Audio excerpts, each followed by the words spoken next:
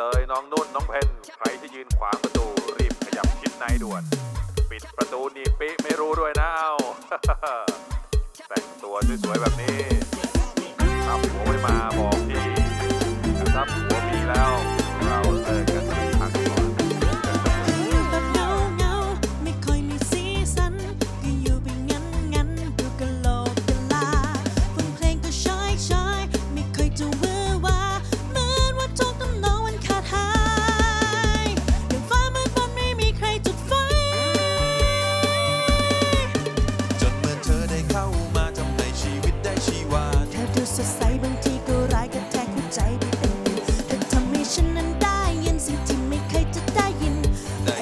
ก็ทำชีวิตให้เปลี่ยนไป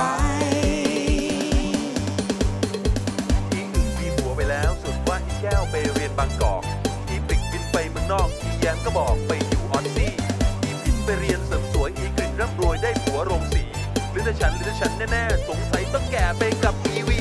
เคยอยู่แบบเงาเงาไม่ค่อยมีสีสันก็อยู่ไปวันวัน